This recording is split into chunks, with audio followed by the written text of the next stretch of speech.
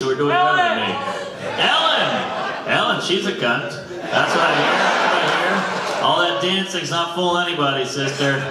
But I will say, in the 1990s, she got canceled for being a lesbian, and now she got canceled for being a cunt. So, you know, you are what you eat. But, uh, okay, there we go.